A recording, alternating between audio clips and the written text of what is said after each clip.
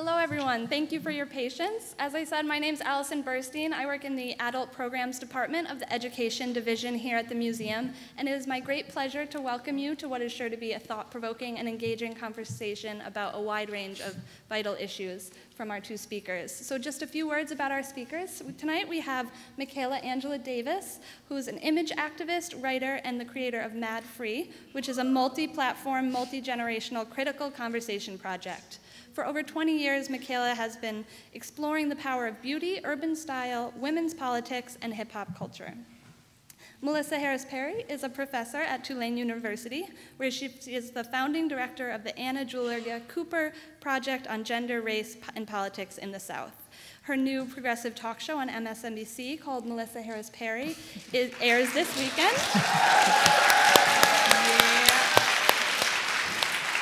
And with this show, her position on this show, this will make her the only tenured professor in the United States with a cable um, talk Woo! show, a cable news show. That's probably a good reason for that. She's also the author of a new book, Sister Citizen Shame, Stereotypes, and Black Women in America, which will be a large part of the conversation tonight. So without further ado, our two speakers. We're happy. We're happy you're here, and we st- oh, particularly so much pressure. I know, but but you know what? But this, but but in terms of so much pressure, look at the pressure that. Like we were talking about your practical, actual work, like you right. practically wrote a book, you're right, practically right, a, a, a, a, professor, but what you had to navigate to get there, sure. that's the business, you know, and so we, we feel that, um, that it, it couldn't have come at a better time, particularly, you know, I'm gonna talk just briefly about the show. It couldn't have come at a better time because the politics are crazy right now, particularly, you know, as it relates to women and women of color. And so your lens is going to be so important, like right now. So that's super great. But the book, and um, how how did you get to this book? Why this mm. book? Why now? And how hard was it to sell a book about American politics through the psychology of black women? Like, who wanted oh, that book? Right. Okay. Um, so the, the answers are all so unsexy. I don't, I don't even really know where to start. Um, so, you know, why this book? Because I'd, I'd written the first book and um, got tenure with it, and if I wanted to keep my job, I was going to have to write another book. Okay, there you um, go. That's practical. Like that, like at, at, the, at, the, at, the, at the least sexy aspect of it. And so, um, so I, I, sort of started writing a second book, and what happened is I'd, I'd, gotten radicalized in the seven years that I was teaching at the University of Chicago. So I kind of left grad school and went off to my first academic job with a race lens, um, and really sort of seeing myself as a race woman. Mm-hmm. And you know, I'm going to write about. I mean, I, I think there's you know, there are things about that first book that I really love and things about it that I find really appalling. Um, and one of the things about it that I find really appalling is that it, it didn't even occur to me as even slightly problematic that I was writing about barbershops mm-hmm. as a mm-hmm. fundamental site of discourse in black communities and where black people get together and have ideas. Mm-hmm. And um, as part of doing that work, I initially tried to do Zora Neale Hurston kind of work. I tried to do the participant observer, right, right. anthropological research in the barbershops. And it was such a problem. I kept changing the space so much every time I would enter it that I um, partnered with a really brilliant graduate student who's actually, thank God, a really fantastic intellectual and a feminist and all these things, but, but it was also male, and sent him into the barbershop. And we did this kind of ethnography by proxy, right? which led to an interesting chapter and one that I'm very proud of in the first book. But, like, seriously, I gave up a whole part of my book because my female body could not enter into the space that I wanted to study. Right. And I didn't have a sufficiently critical feminist lens to even see that as problematic, right? Right, right, right. But then I spent seven years at the University of Chicago with Cathy Cohen. And any of you who know the work or the person that is Cathy Cohen, who is an out black, lesbian, feminist, political scientist, empiricist, genius, who also never like really lets you rest. So at any point that you're thinking that you've done a great job, Cathy's always like, no, how about do a, a better job, mm-hmm, right? Mm-hmm. Um, and so during those seven years I spent with her, I really developed um, a, a, broader conception of, of the places I was missing in my own political analysis. And so I knew the second book was going to have to be about black women right. because I was working it out for myself and for my own work as much as anything else. But I've been writing this book forever. I mean, I've been writing this book for a really long time. When I think about who I was at the moment that I first collected my first data for this book versus who I was the day that it came out, it's almost. Um, um, I know there was a, a, a, recent critique of it that it was wild and out of control, um, and it's you know it isn't certain. that, that is so loaded. Well, no, no, I mean it is, it is, but it's also like you know a part of the reason I haven't responded much to that particular aspect of the critique, but but there's a there's a there's a little bit of it that's not completely false in that I was I was in this book like really trying to mm-hmm. work out a bunch of stuff. Um, but the question of was it hard to sell it is surprisingly no, mm-hmm. because it's an academic book, which right. means I'll make no money from it. Right. Right. So, um, like, I'll make a little tiny, like, I probably bought these shoes, um, right. you know, with the book or something. But um, because it because it, because it's an academic press without a money making endeavor associated with it, right. Um, it, it actually was less hard to find a publisher than one might expect. And I, I have funny publishing stories about the book, but it, it wasn't. You know, that aspect of it wasn't the struggle. I think for me, the single hardest part of the struggle was trying to figure out what I was writing about, why I was mm-hmm. writing about it, what was motivating me. And I think that's why it ends up the way that it is. That's why it's literature and culture, you know, lit crit and politics and all of these different things because I was working all of that out. But, but what's interesting, it, it is layered, you know, but we're layered. So in a way, I w- yeah. when I was reading it, it didn't read like a straight academic book to, right. to me, right? And because Good. also the emotionality is in there. But I completely got, cause I feel like this book is for black women. Like, and everybody else who loves black women can get it. But I so Good. because I'm a black woman, I get all the complexities, and yeah. I get how you can go from Zora Neale Hurston to statistics to you know, and, and, but you do it in a clean way, and there there's some broad um, ideas that I just I want to ask you about, and um, particularly this notion of the politics of recognition mm-hmm.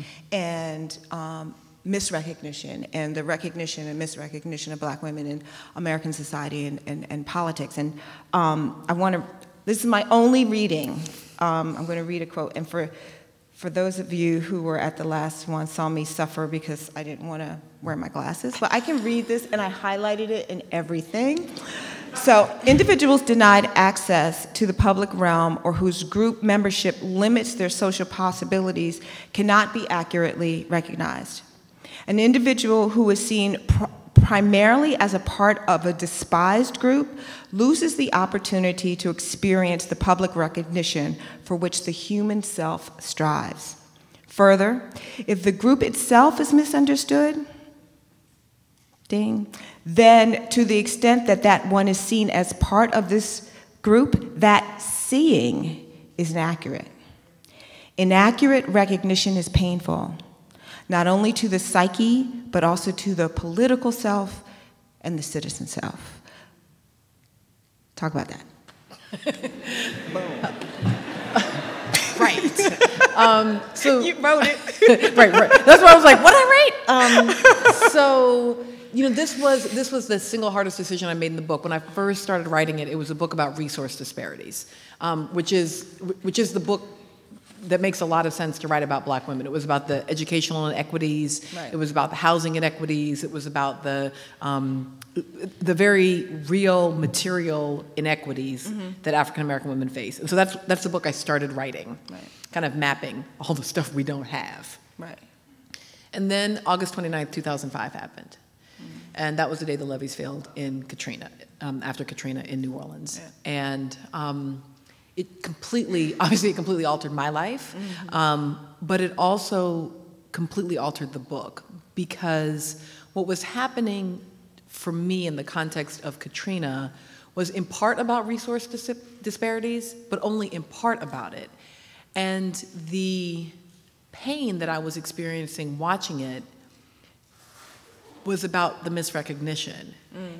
Um, it was that when I was watching what was happening, I saw people who looked obviously like Americans to me. Like they looked like my cousins and my parents and my siblings, and they looked like me. And when I saw them there, there's a there's an image um, that a lot of Katrina scholars have used. It's of an elderly African American woman who, appallingly, of course, her name we don't know because her name isn't important. The only thing that's important is her body, right? So we just use black women's bodies without any knowledge of their biography. But she's sitting at the Superdome awaiting rescue, and she's got the American flag wrapped around her, and it's a huge flag, right? And and so the question is, where in the world does a black person get a flag like that? Because like we don't do Fourth of July right? We don't. That's right. that's not really. Right. That's not. That's not where. And if we did, like, we only have done that post 08, right? right. Like maybe in 08 we're like. Right. Right. so so so so one, if your house is flooding, if the water's coming up, why would you grab a flag? And how would you know where the flag was? Like, even if you did do Fourth of July, wouldn't it be up with like your holiday stuff somewhere? This is at, right. This is the end right. of August. Where? So what? What is that flag? Right. That flag is from the casket of a veteran. Because the only way you know where a big, huge, ginormous American flag is and where you would go and grab it as you ran out of the house right. is because it was draped on the casket of your loved one which means not only are you a citizen, you're a citizen whose family has made the sacrifice that we consider the primary sacrifice required for engagement in the American project, and you're sitting there wrapped in the flag of a veteran, waiting for people to rescue you, and they're calling you a refugee. Right. And it's not even that there's anything wrong with the language of refugee. In fact, had we in fact been refugees, we would have been better off. Word, right, right. Because the because there are international policies that require that you don't, for example, put a refugee on a bus with a one-way ticket, right? right? But in IDPs, internally displaced persons, don't have those same rights. So it's it's not even so much that it's um, that there's something about being called a refugee that is in and of itself inherently um, degrading, but it is simply a misrecognition. It's false. Right. That, that right. woman and so, and, and so many of the other men and women around her were citizens. And so I was, it, it, was watching people say that black men were raping babies in the Superdome when that, that was exactly the opposite of what was happening. Black yeah. men were saving babies all over the city because nobody else would. And in fact, the reason they wouldn't save babies is because they said that criminal activity was more important than life-saving activities. So they literally shut down all life-saving activities and went to law and order. Like, yeah. I, it was watching how the misrecognitions had real-time material policy life consequences and on the one hand wanting to talk about that but also just wanting to talk about the fact that it hurts and nobody yes. cares that it hurts like you know when you say oh that experience is painful for black women people are like so, I mean, like, so why am I meant to care that an experience is painful for you? Mm, mm, mm, so why should I care that, you know, we misrepresent you with a Soho abortion commercial? Why should I care that we misrepresent you on a Super Bowl commercial as irrationally angry? Or why should, you know, why should I care that, that your feelings are hurt? And so part of what I wanted to make a claim for is like, our feelings being hurt is politically relevant. Well, and that, that's, that, that, and all of this is in the book, y'all. She's not just saying, oh, I was inspired by it. Like, she, it, the whole Katrina thing is broken down, so you need to get with the book. But, but, um, but also, the, I was struck by, by, again, by the emotionality and, and you talking about um, black women having this quest to craft meaning out of their lives inside of these really literally dangerous terrain, whether it's physically dangerous or sexually dangerous or psychically dangerous, but also that their emotional lives how their emotional lives lead to political choices. Right. And I have not seen that connection made before. First of all, I didn't have the distinction called the politics of recognition. Like, even though that's what I, t- as an image activist, that's really what it is. Mm-hmm. So I just thank you. You've given me some more language, but to give context. But but this idea of having to talk about how emotional lives lead to political choices, mm-hmm. like that.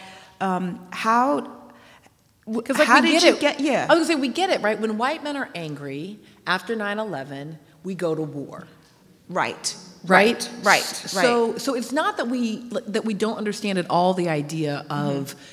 Emotions leading to politics, like but no we, one's talked about it in terms of black women. Exactly, right, right, right. So, like, we get that the Tea Party's angry, and because they're right. angry, they're going to do a set of things, right? We get that, um, uh, you know, that that uh, elderly Americans are scared about Social Security, so, right? So we talk about emotion and politics all the time right. if we think that the people having those emotions are relevant, worthy, right, and worthy. Right. That's right, worthy of worthy of us caring what their emotions are. Right. But black women, when they have emotions, are like almost by definition irrational. Like our anger is always irrational anger. We, we right. never anger angry about something. Right. Right. We're just we're just right. angry. Right. Right. Just right. like in like in our being, we just are angry. Right. Yes. And and you do and and there's some really healthy context that you provide about um, you know being able to understand these myths and realities about black women and, and you know and you can have the sort of classic um, Jezebel, Mammy, and Sapphire as, as, you know as a construct,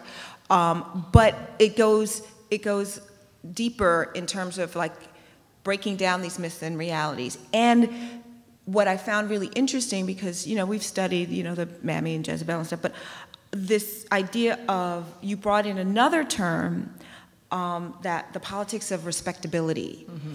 and I was like, yeah, talk about it. Like this idea of, and you get and you you give real context to why we feel this way, but also can you sort of speak to that, this idea of the, the, the politics of responsibility, uh, respectability? Right. So I mean, again, that's that's borrowed from um, previous black women academics. And, and again, one of the insights here, so I'm, coming um, just at this moment, you know, we're coming off of Black HIV Day when we were sort of thinking about the continuing um, role that HIV and AIDS are having in black communities. Yeah. And so again, this was just bring back to Cathy Cohen for a second. So her argument is in part that because we're so wrapped up in a politics of respectability, this notion that you deserve to be a citizen not just because you deserve to be a citizen, but because you somehow earn it by being sufficiently respectable. Right. So, like the, to me, the most recent kind of clear iteration of this is, um, you know, Bill Cosby. Remember when he went crazy and he told like black young people they were he right? He was like, crazy. no, I mean, like I really think he went like literally like probably post traumatic stress kind of. Yeah, yeah. Like I mean, like something, something happened, something snapped. No, right, right. I mean, yeah. he, you know, he lost his son, and then yes. and then what he does is he then blames young people themselves for kind of the, you know, the, the failures of the post civil rights generation. So you have to stop naming your children these ridiculous names. You have to stop letting your pants sag. Like as soon as you hear pants sag, you have entered into the land of politics of respectability, right? Like if you're looking right. for a, a little Q word about politics of respectability, it's sagging pants. You go, oh!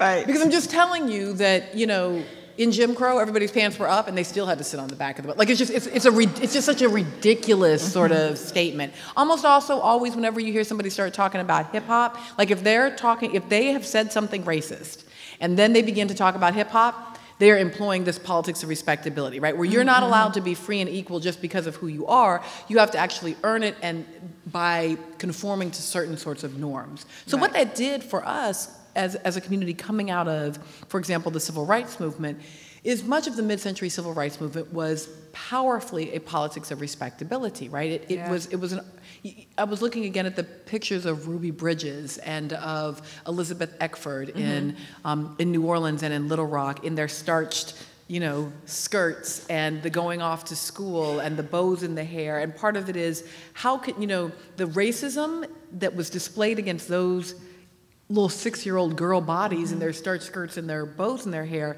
was so appalling because they're obviously little respectable citizens, right? Yes. But the fact is that when we display that same kind of racism against a 19 year old with his pants sagging, it ought to still invoke for us the same level of discomfort. Mm-hmm. So we allowed, in many ways, HIV to go unaddressed as a political and social issue in black communities because we didn't want to talk about what we saw as disreputable aspects of the community, right? right. We didn't want to talk about LGBT um, individuals within black communities. Mm-hmm. We didn't want to talk about prison. We didn't want to talk about mm-hmm. um, intravenous drug use. Like we, because we didn't want to think of those as arenas in which the contemporary civil rights movement would be operating, we just sort of like, doo, doo, doo, but the what, idea that your identity has to be a secret. Right. That and, and that's so we have to we have to kind of work on the top level because it's so well broken down in this book. So if you if you get it, you'll get it. Um, but one of the things that um, you also do, which is which is helpful, particularly for young scholars too, is that you you you um, sort of underlie or you lay out actually the social benefits of the larger community or white society from these myths, right? Like you make it clear, for instance, you, you, you make it clear how, you know, black women's hypersexuality gave room for the white purity myth, you know, and so there, you do that several ways. So it doesn't, what it does is it brings some dignity to these myths because you see why they needed to happen in order for the society to, to promote their desires and everything from welfare to like you really help understand and the more you understand it's why mammy it's why mammy always shows up at very particular moments right? right it's like you know mammy shows up right after the civil war there's no mammy myth before the civil war right she shows up in reconstruction because she has to heal the nation right yes. so you need this sort of um, romantic remembrance of the happy slave right mm-hmm. mammy showed up this year, right? Mammy showed up. She, Mammy she, might get a gold. Like, Bam! She like came out, right? Because because we're because we're in an economic crisis, right? Yes. And if you're in an economic crisis, what you need is Mammy, right? You you if people, for example, are asking for labor rights. Right? right? If labor unions are battling for fair working conditions, then you need to romanticize someone who worked just because she loved you. Word. She ain't need no contract. Mammy didn't need a contract. Right. Because Mammy was part of the family. she just wanted to see you succeed, right? right. So, so like, and, let, and let's say let's say you have a difficult, you know, sort of economic structure, and you're not quite sure how to navigate it, and and and social roles are changing. I mean, who better than a magical negress, right? Who, despite the fact that she has no um, no control over her own resources or, or very few mm-hmm. resources of her own. Right. Really, her, really, the only thing that fulfills her is making sure that your household is in order, your yes. children are well loved, your spouse is well fed, right? Like, I mean, who doesn't want mammy? Right. I want to make. I need to come and just right make you some pancakes and give right. you some advice and right. uh huh. No, and. no, it's it's true. Like you, it, there's a there's a hilarious photo in there of the Mammy restaurant where you actually oh, yeah. get to get under her skirt and have yeah. a good meal. Like it's yeah, in crazy. Natchez, Mississippi. It is it, there, it, it, exists right now. You drive down to Natchez, Mississippi. There is a Mammy restaurant. They have lightened her complexion over the years. It's fascinating. But you right. the, the restaurant is in her skirt. It is. It's in you go skirt. you go into her skirt and you eat. You know, like home cooked mammy food. Mammy food. Um, you get a mammy meal. Um, so so, um, no, I mean, Q, but, when, when the help came out, yeah. I mean, I think the thing that really took me over the edge was that QVC had products inspired. Do they have go, a mammy meal? You said like a little, products, chicken little? That's right. Products inspired by the help, which if you wow. identified with the white woman in the movie meant they had like cute outfits and adorable shoes. Oh, that's right. That's very, banana. Right, right, right. Okay. But but they also had waffle irons. And no, I swear, I wish, I wish it were a lie. I wish it were not true. Wow. Wouldn't you like some products inspired by the help? Well, you know, we hear that it's coming to Broadway, so we might have uh, Help the musical. Um, but, but, uh, and, and see, and hey, I, okay, and the thing is, like, I'm actually not the fun police. Like, I actually wish that there were some place I could go and just like sit and watch a movie. Yeah. Or yes. watch a television show or listen to some music and not be assaulted. I mean, I, I think I think that's part of it's you know I'm, I'm not I'm not asking for everything to be daughters of the dust, right? right I mean, right. I'm like I'm really not, and right. that's that that's not the standard. But the fact that every sort of like black family movie is actually a movie about how black women are temptresses, yes. and you know how I mean, if if anything could just be like. You can't. There's no. There's no comfort. Like you. There's some part of your body that's having problems. You know. And and uh, there's also a part um, in the book that you that you talk about the stress of shame. Yeah. You know, and I, have you know I've read about the, the stress of you know poverty and the stress, of, but the, the actual stress of shame, and and even as and you're we're speaking to that a little bit. Like there are times when I feel stressful watching these images being perpetuated or these conversations about us or that you know this whole idea of misrep there's there's a stress related to that mm-hmm. and I mean, it's um, physiological cortisol. Yeah, there's cortisol a chart and everything your body. There's a chart. there's a chart. No, it, so I mean, it really it's helpful because it also helps to you know liberate some of these ideas and and I and you sort of end in this place with of course with Michelle and you know this and the journey of Michelle, and also making all the comparisons to Michelle, to Jezebel and Mammy and Sapphire, and um, and also what was interesting of this idea of the angry, you know, black women in the White House, and and also how Michelle sort of how you related to Michelle with your experience in the academy and at Princeton, like. Can you talk about that? I'm not. I'm. Not, this was not. I was not going. to This conversation isn't going to go there, but it yeah. was interesting. Like it's in here, so we can go there a little bit. Right.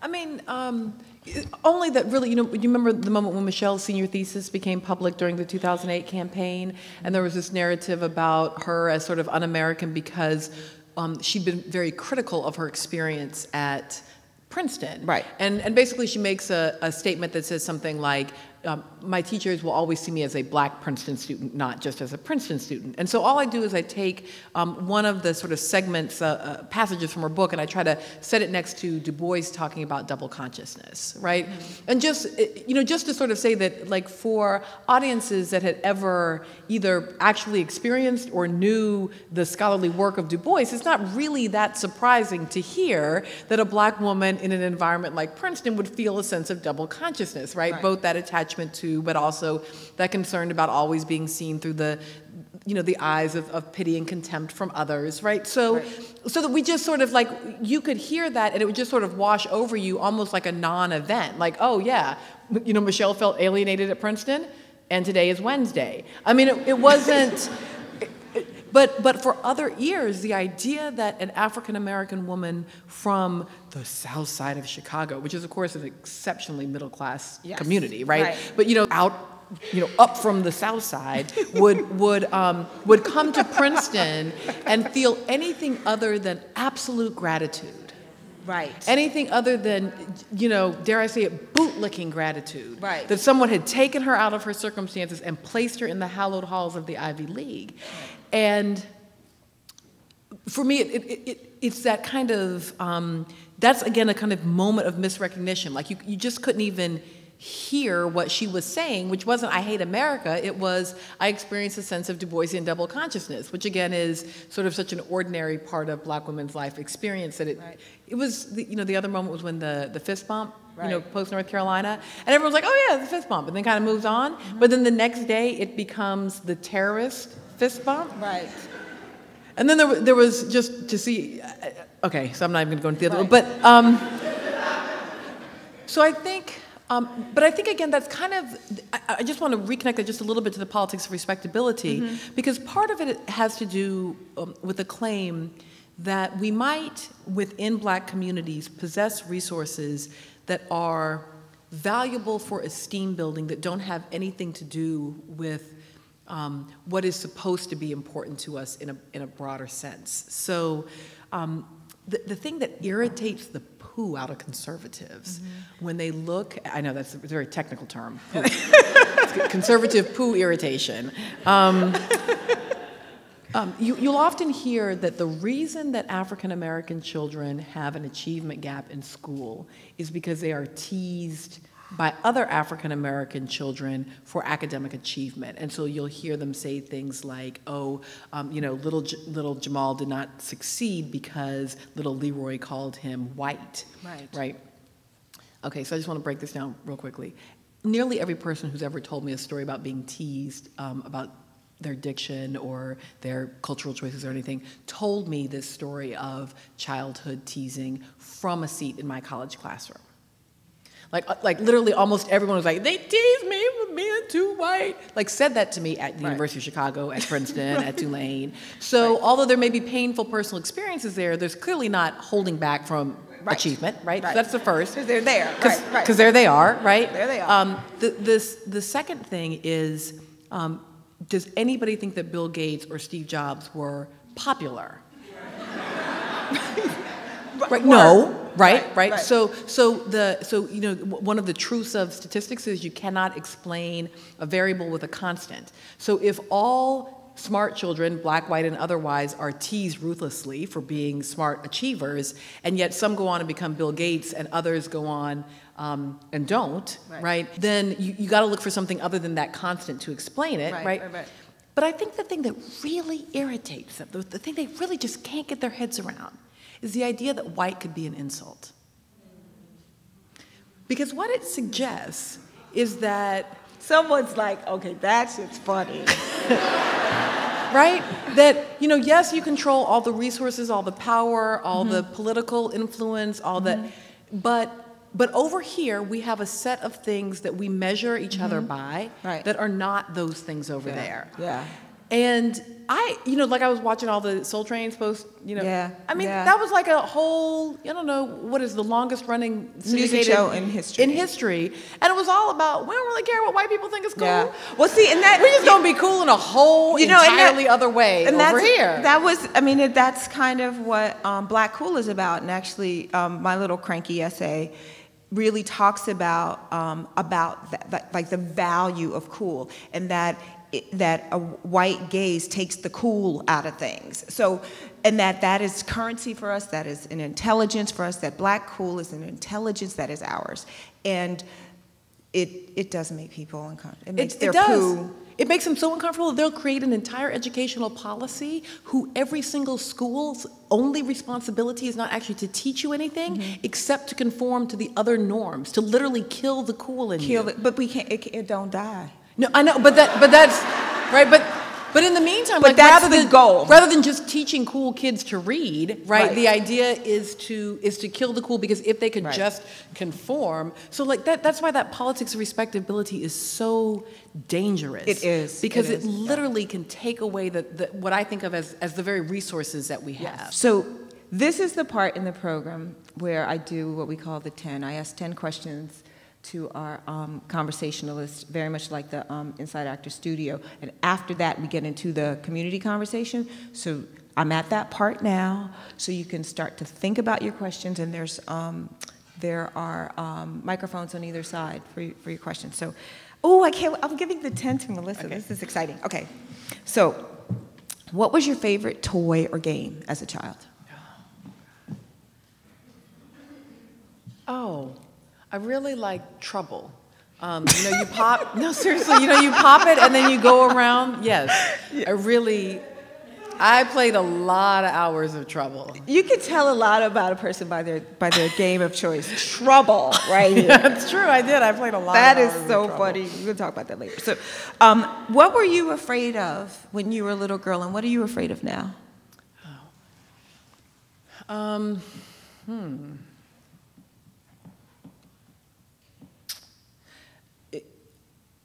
Gosh, how I had a very sheltered childhood in certain ways. Um, probably, like, I, I, can remember being really afraid, kind of um, in my late elementary years, like third, fourth, fifth grade, my mom went mm-hmm. through lots of periods of un and underemployment, mm-hmm. and I can remember being being very afraid of like losing the house. Uh, we didn't right. we didn't own a house, we rented, but right. but of being kicked out or of like losing the place that we might live. And I mm-hmm. didn't I didn't feel that in like kindergarten, first, second, third, but at the at the end, just before my mom and I moved, um, when I was in middle school, she was really experiencing a lot of employment mm-hmm. um, difficulties, and so I can remember feeling a lot of angst about that. Um, and gosh, you know, the thing I'm probably most afraid of now is failure, um, which mm. is which is probably why I pursue it. So, I mean, um, part of you know my thing around shame is the only way you get over shame is to just kind of throw yourself out there. Yes. And yeah. so because I'm so afraid of failure, I just like take on bigger and bigger projects where I'm more likely to fail more and more spectacularly in front of more and more people, um, so as to somehow manage the the fear of it. Yeah. If, if you could cure one chronic social injustice, what would that be? Just one, huh? yeah. One chronic social injustice. Well, I mean, I almost want to say I would just make everyone actually call President Obama President Obama instead of like, but that, but that seems, that seems too small. That seems like I'm thinking too small. It's just the one that's, that's bothering me the most today. That's all right. Um, that's, that's a good answer to that. but um, yeah, you know, I, I think I think the, I think it would be um, I think it would be inequity in schools. Like like yeah. for me, um, you know, I, I, don't know how like how you would take away racism or sexism. I mean, those would be big ones. But um, for me, if there was, if, if it was just completely clear that every five-year-old had the exact same, you know, opportunity for quality education as every other five-year-old, that would that would work for me. Yeah. Uh, what woman in history would you like to have a conversation with? no, I know that one. Okay. That's Ida B. Wells. Oh, like right now, yeah. it's been all Ida all the time. Right. About the past the past six weeks, I have been reading a lot. Uh, you know, Paula Giddings has the, the brilliant um, biography of Ida Wells, Sword mm-hmm. Among Lions, um, and it's you know it's about that huge. And I first I looked at it and I kind of you know set it down, and then I've but you know Ida went through. She went through it. No hashtag there she went she went through it and and she shopped the whole time like one of the things i love about giddings descriptions of ida is how imperfect she is mm-hmm. so like at various points she's like freedom fighting and but then she'll take her whole paycheck and blow it on a bag and then she will write a letter like oh lord i have spent my whole paycheck on a bag my family is going to be hungry I love, I love everything about her for all of those reasons. She's fantastic. Yeah. Um, what is what are your um, what are your dreams for the next generation of women of color? Like for for the all the young sisters that are out here, what are, what are you dreaming for them? And Parker. Yeah, I know. I was going to say that you know it's a it's a big one because because um, I'm you know I'm raising Parker and watching her go through um, things that just shouldn't. Like, I mean, are we still doing hair? I mean, it's it's 2012. Oh yeah. yeah, I mean, hair. it's 2012 and we're still like having core what is on our head pain. Yeah. Um, so we never got to. I mean, to, this is. We never got to the root of it, really. Really, really? No. Really. We haven't. So until it's healed, it's going to keep coming back. It's going to keep coming back to ask to be dealt with. And black hair is a repository for all our dreams and pain and history and everything. everything. Okay. And so, everything. And everything. So, um, but, but honestly, um, for me, it would be if, if I could imagine a world where there was no sexual assault, period. Like if I knew that my daughter and every daughter could just, it would never happen. Right. Like that I never had to think about it or face it or try to think about how I was going to talk to her about it or prepare her for it right. or manage it or. Like she just skipped to school. like that just was never, that just was an, an right. impossibility. That's, that's what it would be. Where do you look for inspiration and, and where do you go for protection? Where do you go to feel safe? Oh, to my husband. I know it's a no. terribly unfeminist answer. It really is. As it's a horrible answer. I wish I wish it were some other answer. I do, I do. Or sometimes I just like, you know, just purposely just like eh, be mean to him, just like I'm a feminist. I can't like you this much. But I do. I really. Um, he, he, he, yeah, I mean that like that. I'm sorry, I didn't even really mean for them to pop out like that. Um, but yeah, t- to, to feel safe like that's that's, that's very it. much a kind of James space. Um, yeah. You know, my my very best girlfriend in the world, who mm-hmm. if you mm-hmm. are a Twitter follower, you know, like Blair and I, she is my bestie bestie. Um, but Blair is not safe because Blair because Blair always asks more of you. Like Blair's like, oh, I'm sorry you feel bad, and tomorrow you will do what? You know, she's she's like she's the inspiration, she's the push, right? right? So so of those two, when you say who, where would you go for inspiration, it would very much be that Blair is incredibly inspiring and that she pushes oh, pushes. Yeah. But like James was like, it's all right. I mean, at one point I said to him, I'm never going on TV again. He was like, okay, that's fine. Come on here. right, but but Blair wouldn't. Blair would be like, "What? You have a plan? You are going on TV again, right?" right? So, right, and you, you sort of need you need but you need that balance. So, Melissa Harris Perry, what makes you beautiful? Oh, man. Well, it, it probably is because I am irrepressibly myself, even mm-hmm. when I mm. try really, really hard not to be. Mm-hmm. Like I just come like pushing out the sides eventually. And what is it that you can't live without? Man, that's a really good question. Um, I mean, the past four weeks, mm-hmm. red wine, Right. you got somebody throwing up their hands. but for a more uplifting answer. No, that you you got you got a what what over there for that. That that um, might actually just be the answer. Okay, that's okay. all right. That's what it is today. And what makes you powerful? Um, the, the the team right? Mm-hmm. Um, it, it's definitely yes. like both both the home team, like Parker and James, right, yeah. that are like the team. Yep. Um, and and my mom, and then like I'm thinking right now, I was late getting over here, mm-hmm. but as much as I was late getting over here, there are 12 people right now like writing for me for like we were right. working, working, working to the last second, and I ran out, but they're still right. So at every point, there's always a team. team. I mean, it's part of the point of the acknowledgments is yes. that nothing nothing happens. Nothing is powerful without like a whole crew of people. Yeah, I, I know that's right. I got a whole crew right there yeah. in the striped sweater. um, this is my favorite question. So, Melissa Harris Perry, who do you think you are? Oh. Yes. Oh man. Well, I mean, apparently. apparently I am a whole TV show, which is really Yay! no, it's really weird. yeah. You know, I did I did not choose that name. I find it ex extremely bizarre that the show and I have the same name. And, and at one point, someone well, Rachel said, Show is her name. It's the Rachel Maddow Show. That's true. See how it's a different. Ah, There's yeah. Rachel, and then there's the Rachel Maddow Show. show. Right my show was named Melissa Harris Perry. So there was a conversation at one point, oh, like, does it have a hyphen? I was like, I don't know. Did it get married? I mean, I don't know. so it, so it, it has my name, which is a weird sort of like, like taking my identity in a way that I find very strange. But apparently that's who I, like I am, I am two hours on Saturday and Sunday, 10 to noon. Eight.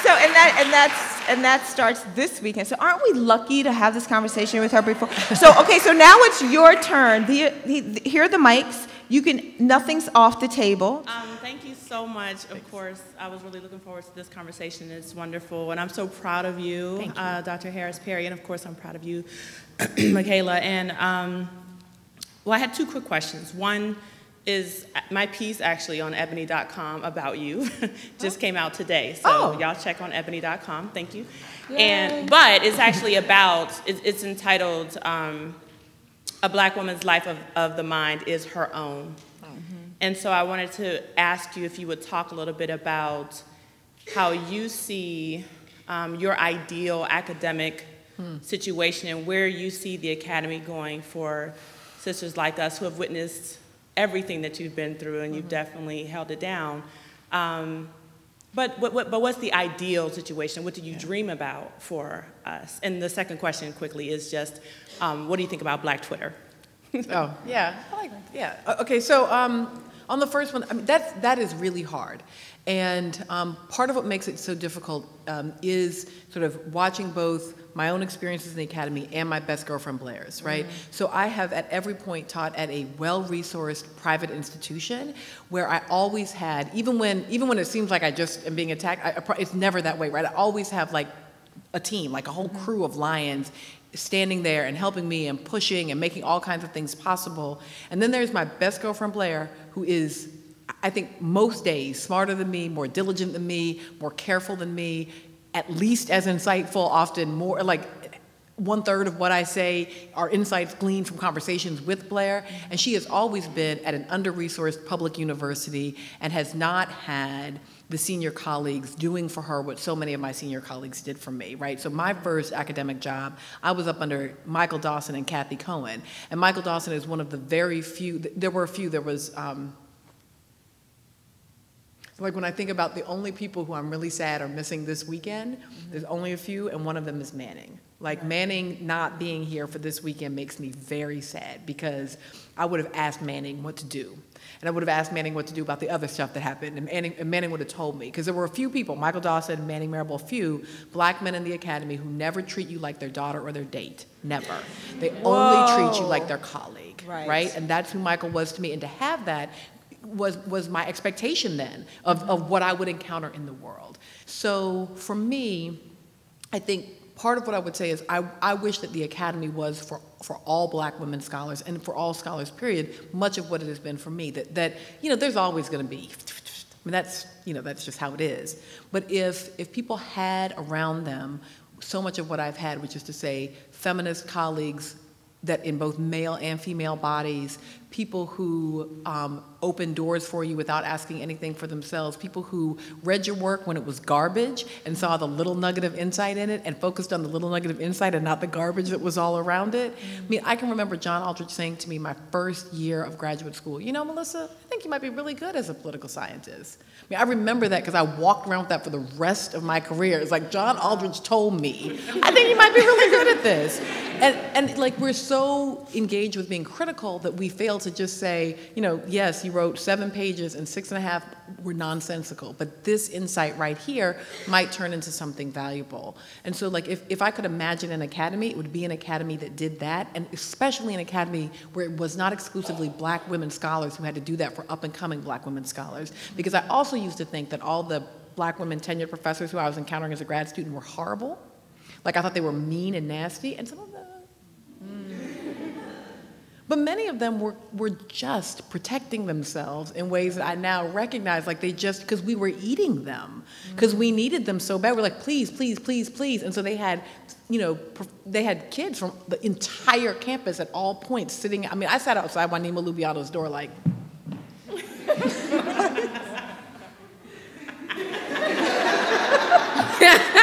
I mean, Lubiano must have had something else to do, and I was just in her face at all points, right? Yeah. And, and and so so I guess that that would be it. And you know, Twitter. I love to, like I go to Twitter. I come back from Twitter. I have to be really careful not to believe Twitter because Twitter will tell you. Die. well, and Twitter would tell you to do things that you shouldn't do, like go on TV and say, right. You shouldn't do that, right? But um, but overall, actually, I find Twitter to be a really interesting place for generating ideas. I find it very democratic with a little d, and I and I like that about it. Hi. Hi, I am Mia Dunlap.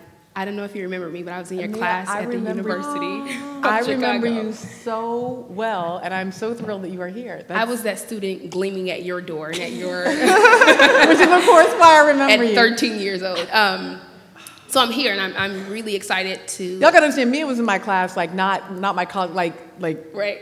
Yes. like yes. 13 years old. Okay. Yes. So. Uh, we we are i'm here I'm, it's young there are young people here uh, and we're just wondering what should we be doing what can we be doing uh, in this upward mobility we hear all these things about uh, where the martin dr martin luther kings of our generation or the malcolm x's of our generation right so what should we be doing now and what can we be doing Oh my God, I don't know. I'm sure you know better than me. I mean, I'm, I'm so like one of the things that um, I, y'all are trying to just mess. I cannot believe Mia Dunlap is here. Um, I, I, assume that um, the, the very fact that you say to me, there are some young people here, can you tell us what to do? Right. Is first of all evidence that I'm apparently no longer one of the young people. um, which is really, it's kind of hard for me to take for a second. Um, um, but it's also evidence that I probably don't know. Like I've been having this, I've been having this um, ongoing conversation about like what do you need to teach black kids about racism, right? And there's, you know, there's the know your history part, and there's the wanting to talk about structural inequality and the ways in which racism has operated historically. But I also don't want to assume that the racism that you will encounter or that my daughter Parker will encounter is the same racism, right? Mm-hmm. And so, in certain ways, yes, I can teach her about my racism, but I can't teach her about hers. She will actually have to teach me back about hers because she's encountering a whole series of things that I don't know. So, um, you know, if we are, for example, you know, saying, oh, the, the um, you know, we did, we did away with Jim Crow, so therefore, you know, black youth, go out and do whatever you need to do because we've done away with Jim Crow, we've got you the right to vote. And you're raising your hand and saying, well, I don't know, but maybe you haven't noticed the prison industrial complex. You guys didn't so much do away with that, and that's having this huge impact on me, right?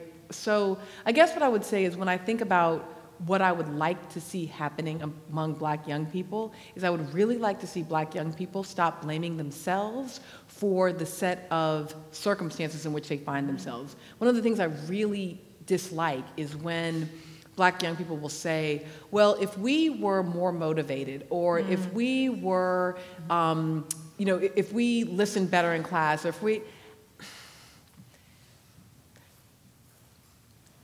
I, I just, I've encountered so many very privileged white young people who don't do that to themselves, mm-hmm. um, who get high and come to class and become, you know, Supreme Court justices, right? Like they, right. they don't, they, because they, they, they, they have a sense that they have a right as young people to be, to fail sometimes, to be young, to be experimental, yeah. to be young, to move through the world. So, I mean, I think that's part of it is like, I, I just, I, I hate to see how much we police black young people and encourage black young people to police themselves. Because I assume that you have like a whole, like, expansive um, hugeness about you. So so here's the last thing I would say. Um, stop letting people come and talk to y'all like, oh, everyone wants to go talk to the young people. I'm going to talk to the young people, tell young people. Um, you should, you should like not allow any of those people to ever come anywhere around you. Um, really, really, the impulse should always be, I would like to go listen to some black young people. Mm-hmm. I'd like to go listen mm-hmm. to. I wonder what some young people would have to say to me. And this is, um, mm-hmm. this is part of what we have talked about for the show. Mm-hmm is, you know, a lot of political conversation these days is about, oh, the deficit is going to burden our young people, or young people need this or that. And almost no one actually bothers to talk to someone under 30 on right. air. Right. And so, you know, part of what we've been talking about is trying to think about useful ways to actually right. stop and listen to what young people have and, and I would add that you create community, be with each other and tell the truth and support each other. But like have, like, because she's noted like her girl, right? How many times did you talk about Blair? Like, I think it's important that that yeah. you get your girls or your boys or your friends create your own community and tell the truth when you talk about things. First of all, I'd just like to thank you, and I'm just so happy to be here to see you. I did run into you in Florida in the airport over the summer. and um, I, my question is to you, um, this business with Cornel West and how would you like to address that? Because I really want you to, like his, you know, you know his negative statements about you and acquiring your show and such. And I just wonder if you have any ideas of what you think may be going on with him because he's been a little off the hook lately. So I just want to know what you, what, what do you think? So, um, so I, I mean, like I, I, have made a decision. I'm not going to address it, for example, in writing or in the press or, or anything like that. That said, I, I feel like that's a that's a, a, question offered in good spirit, and so I'll, I'll just offer this. I, I, really, when I say I don't know, I really honestly don't know. Um, uh, Professor West and I have had a, a long-term academic relationship that has included a lot of disagreement about politics in various ways.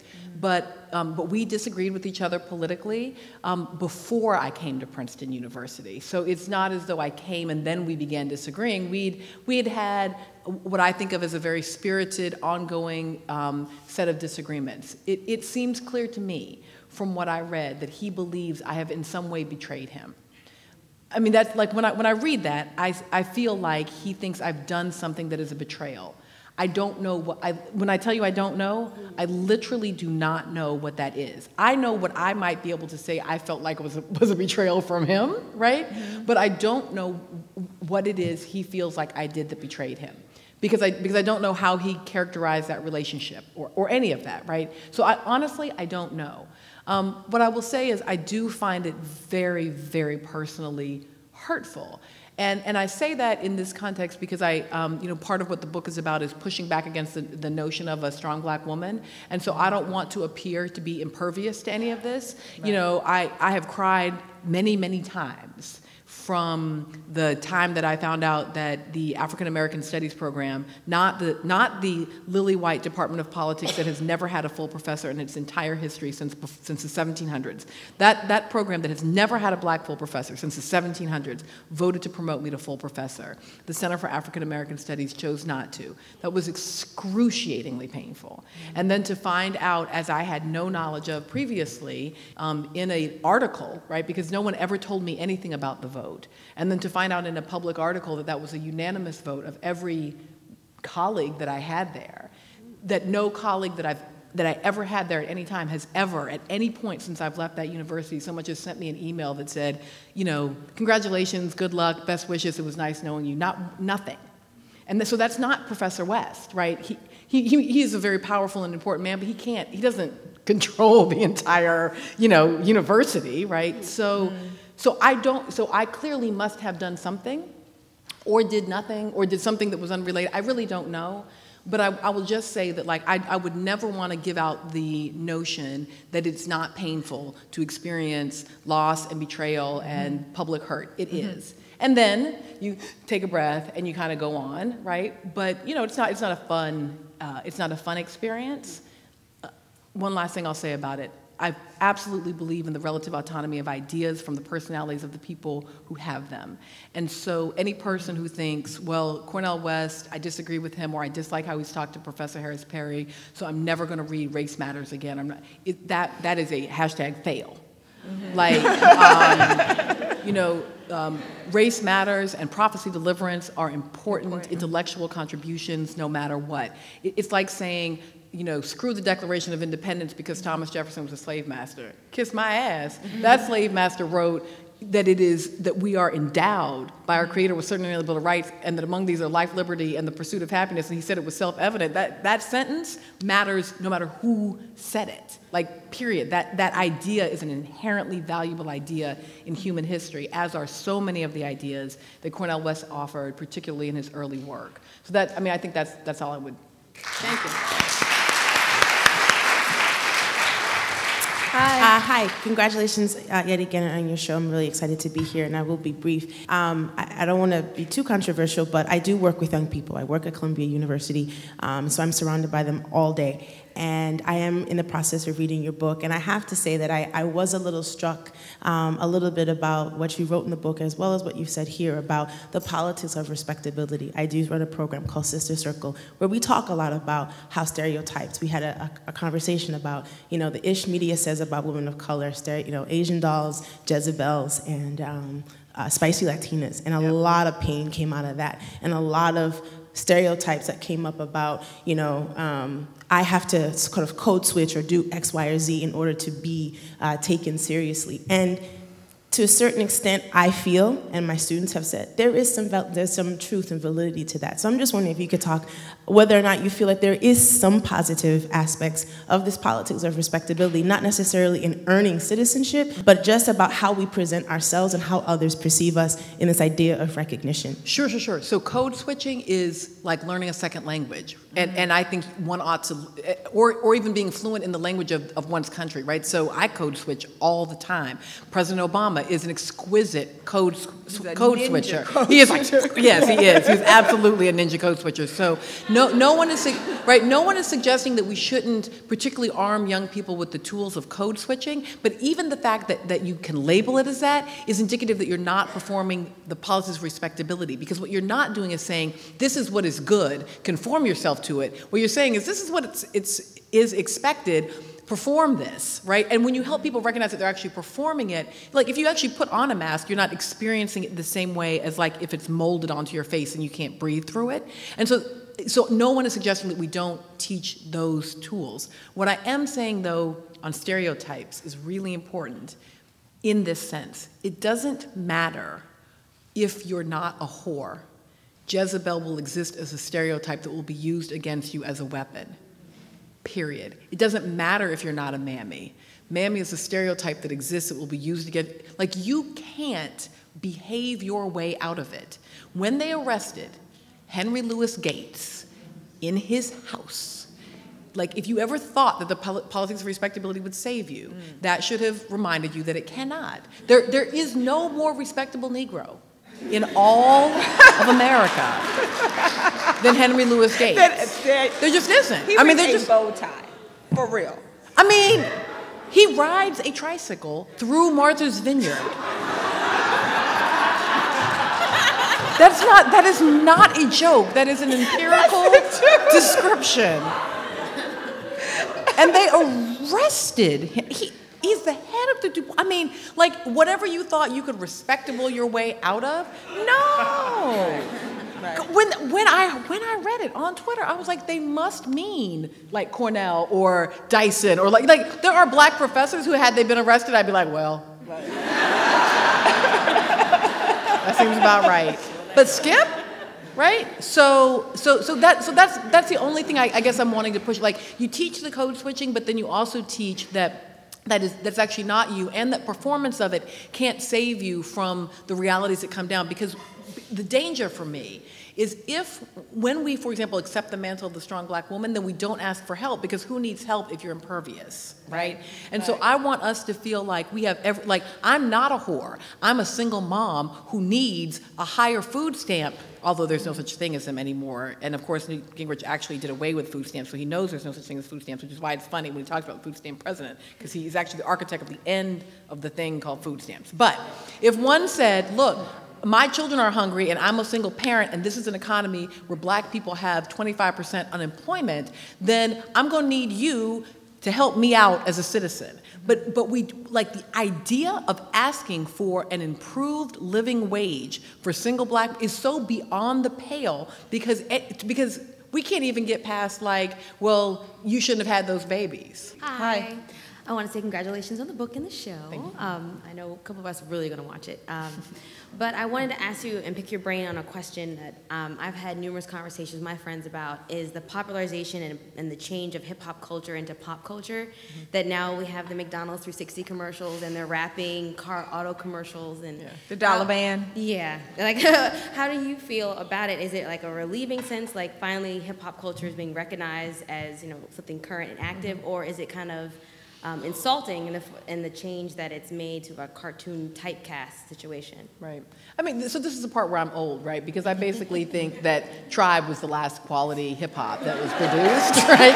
Um, and so, um, so like I, but I get that that is my, you know, I get that every person who's older always looks at all young people's music and finds it, you know, right, preposterous, right, ridiculous. Except that I do like Nicki Minaj and I don't care what you say, and that's why I don't have a politics of respectability because I like Nicki. Um, uh, uh, you know, you know the commercial aspects of it. Um, are, are, in certain ways they're almost true with a capital T. Like you know, it's it's it's more a part of um, you know, the McDonald's commercials or something now, but so are lots of aspects of blackness.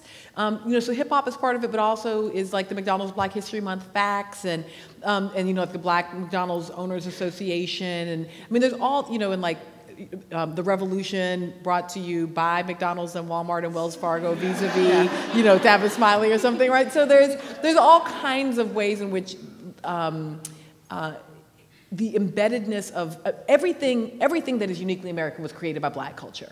And so it's not really that, that's probably a, a, a slight overstatement, I'm a little punchy, but pretty close to that, right? I mean, jazz, blues, hip hop, everything that just actually got created here and didn't get imported um, happened in the black Atlantic diaspora of blackness in a global way, right? So it's not just like American domestic Negroes, but black Negroes with, you know, West Indian ones and African ones, and you're doing the whole thing that is the black Atlantic. So the fact that it becomes American when it is so American sort of makes me shrug. Um, I'm, like I'm not that terribly surprised by it, but what you could always bet is that then there will be a backlash against it, right? So um, we're seeing it now with Linsanity. Right, so I love Linsanity. Who wouldn't love Linsanity? This is great. It's basically bringing like the, everything we love about college basketball to pro basketball. Like the idea that something amazing could happen never happens in pro basketball. Right. But it's getting read in this cultural way that he's going to be this model minority that will teach, you know, all of these out of control black men with all this swagger how to like bring their game and their selves back in line. Now, Black swagger is what makes the NBA the multi-million dollar affair that. that. it is. Say that. Right? I mean, that, that, that, actually is the thing that makes all those white men rich is the black swagger. But, it's, but you can bet that they're going to both co-op it and police it at the same time. Mm-hmm. And so, so they're going to, so, and I, I guess, so for me, I would just want to be aware of that. Like, I don't want to stop it. I just want us to be able to read that so when we see it happen, we go, oh, okay. Well, I'm a, I'm a root for Lin, and y'all are not going to talk about my, you know, the brothers that way, right? Like both of those at the same time. Hi, so we have time for two more questions. Okay. One on each. All right, okay. and I'll go faster. Hi, Russ. Oh, no, it's your turn. Oh, I'm sorry. I got excited. That's my friend Russ over oh, there. Okay. Hi. Um, I teach high school English in a district that believes it's suburban, but it's urban. And, and um, this, is a, this is a district where the volleyball participants felt that it was okay to name themselves South and put 1860 on the back of their shirts. Okay? How do I help the girls and the boys, actually? I mean, we had such an uproar about this. The student, of course, all the black students said, they're not going to get punished. And they didn't. They didn't. They weren't suspended. Had it been us, we would have been suspended immediately for 10 days and blah, blah, blah, blah. But the principal actually got on the PA system the next day and made the apology for the players of the volleyball team. You know, what do I do? And my, the, the black kids that I have, you know, they're, oh, Campbell, you're always teaching us about black history and you always want, you need to know, trust me, what I'm teaching you okay? And they are fighting it tooth and nail, but yet they'll get so angry when something like this happens. So, so okay, I'm sorry. So they called themselves. Right. They were uh, initially going to call themselves the Rednecks, but that was, they, they were told that they couldn't do that. Okay, so they called themselves the South. They South, just put South. And then they then the 1860s. So right. we know a couple things, right? Yeah. They actually know when the Civil War occurred. Okay. Good job, history teachers at your school. and then they align themselves with the team that lost. Right. right. They're, they're an athletic team, correct? Yes. Okay. But it's, it's, it's volleyball, so. Right, right. So they. like, I'm not really sure why y'all are mad. Like, I feel like. I mean, like, I feel like y'all should wear shirts that say North 1864. I mean, I'm like I'm. so, so I mean, I'm sorry. I, I, mean, like, I don't mean to make light of it, but but I will no, say, I, yeah. I mean, I, I will just say, look. Yeah. Um, this will be true. The, the fact that, um, and, and I think it's part of what belies the notion of us in a post racial America. And, and this is why. Because their, their knowledge of that cultural artifact, of that ability to do that, is indicative that people are continuing to be socialized into racism. So the, the, the most exquisitely interesting thing about the Jena, Louisiana moment for me was not so much that it happened, but why would kids of that age know the lynching news? Right. Like, why, why would that be available as a trope? Like, what um, there hasn't been a lynching of that sort, right? There was, there have been some modern lynchings, but they, they weren't lynchings, uh, you know, on the tree sort for a very long time. And, and, and as you undoubtedly know, we don't teach it really right. in school. Right. So where did that come from? How does someone know that trope? How do young people know to deploy racism in those particular ways? It tells us that there's an active process of socialization into racism, right? right? And so, you know, so because that's happening, because that's true. So they, when, when I was in college, um, the Black fraternity first black fraternity got a, a house on the yard, and uh, in response, one of the white fraternities went over to the, the porch and, and lynched squirrels, right? So there were all these hanging squirrels, right? And it was, you know, it was the 90s. And um, we were listening to Tribe. Um, and, and you know, again, it was one of those moments where, you know, we wore the black armbands and we were mad and all that. But the fact is, I, now being on college campuses, I mean, it's, it's rhythmic. Like every mm. year, there's going to be some experience where young white people who should be, at this point, two to two and a half generations out from even knowledge of these things, not only do it, but they deploy it in these really, what I find hilarious, like I think South 1860 is hilarious. hilarious. So, so all I will say is, you know, you need the North 1864 shirt or, or, take the Confederate flag and recast it in red, black, and green and put the South shall rise again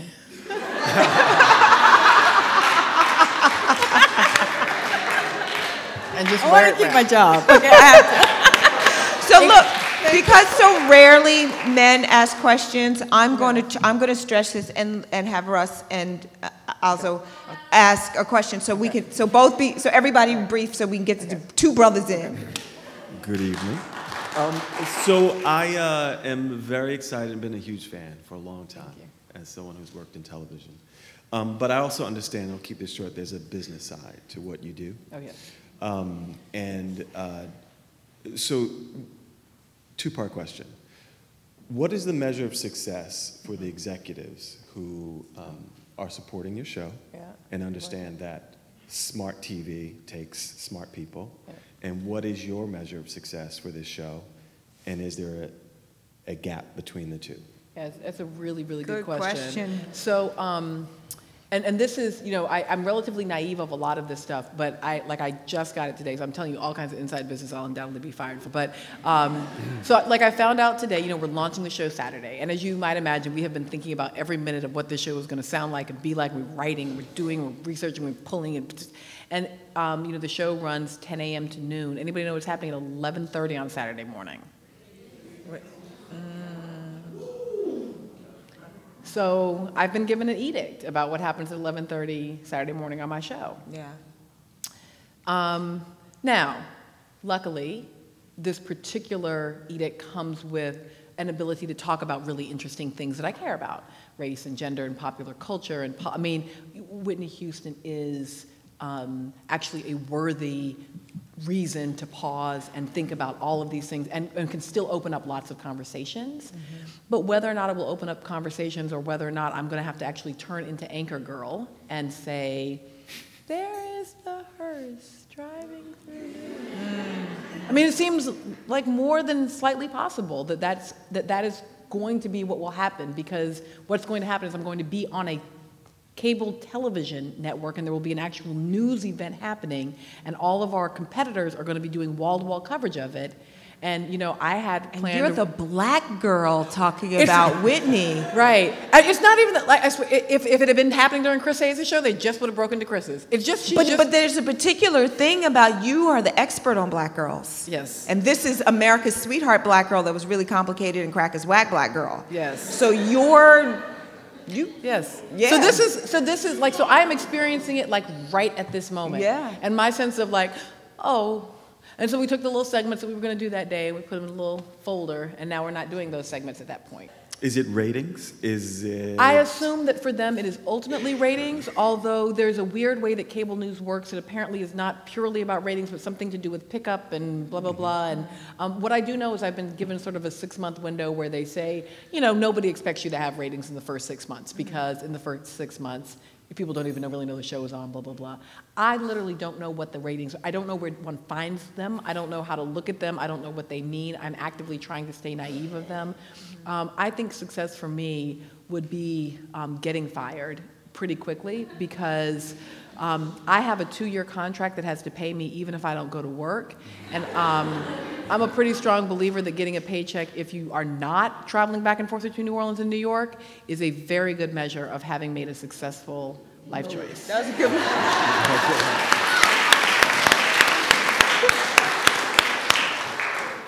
Good evening. I'll make this really quick. Um, thank you for being here. Uh, it is clear that you are a thinker, and I think um, we could use more thinkers in this world. And it seems to me that your work is dedicated to making us and challenging, challenging us to think.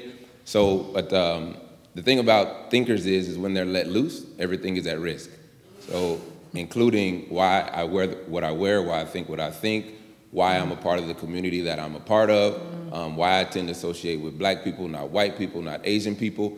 So, with that respect, um, my question is how do you negotiate the relationship between, on one hand, being um, engaged in the free, disinterested thought that is designed to get to know yourself and grow yourself, and on the other hand, um, associating or or wanting to be a part of this, these communities, these larger communities of woman, black woman, man, black man, and so forth. Yeah. yeah th- again, that's not a small thing. Like I, um, as much as I was so thrilled to hear you, I am so nervous that y'all are going to hate some of the stuff that I do, um, and expect you to, and sort of want you to, right? I mean, there are moments when I'm going to actively hope that that black women watching are going to be irritated by some of what I do because I'm trying to never it's never disinterested but but I do like the idea of, of free. I wish the name of my show was Mad Free instead of Melissa Sperry um,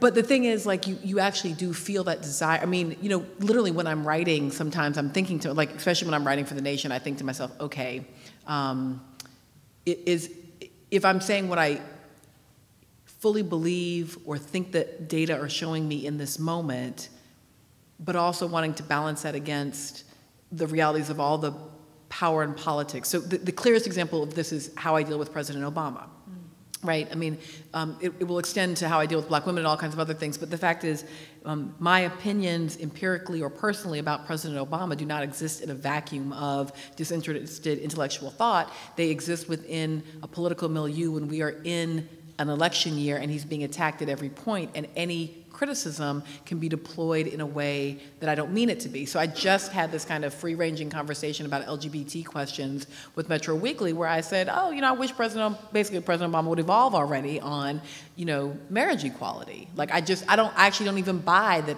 President Obama isn't quite sure about marriage equality. I actually think that personally, he's probably right there, but that like politically he won't be, and, and I kind of get why he won't be politically, but it irritates me. And so now, that's, that is what I believe to be empirically true.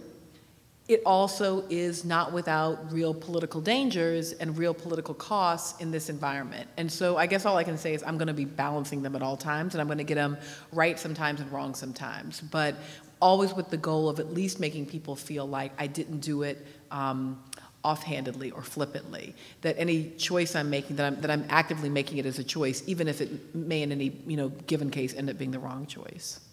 Thank you. Wasn't this good, y'all? Yay! I just, I just really want to thank the Brooklyn Museum again because I mean I know that all of you all come to the Brooklyn Museum but they, they get the community, and you, you've, given us, you've given us space to have these conversations and share the work that we do, and you support the community and you support us. And we love the Brooklyn Museum, so thank you. On behalf of the Brooklyn Museum, I would like to thank both of you for what was truly an inspiring, engaging, thought provoking conversation. So, Melissa Harris Perry, Michaela Angela Davis, thank you so much. Um, And I also want to thank all of you for sharing your voices and for being open to participating so actively in this conversation. And I want to draw your attention to the fact that there's many counterpoints to the conversation that we just had in our special exhibition, Question Bridge Black Males, which is on display on our second floor and will be, the conversation will be continued at what we're calling the Question Bridge Blueprint Roundtable on May 19th, which will be a community open forum to discuss many of the conversations that um, we've started here tonight and within the black male community as well.